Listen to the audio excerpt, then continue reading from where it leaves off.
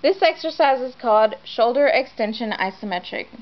Stand facing away from the wall with your elbow bent. Push your elbow against the wall, relax, and repeat 10 times.